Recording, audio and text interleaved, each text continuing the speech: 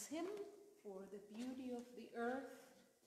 The tune Lucerna Laudoniae was written by a composer of the 19th century, and his name is David Evans.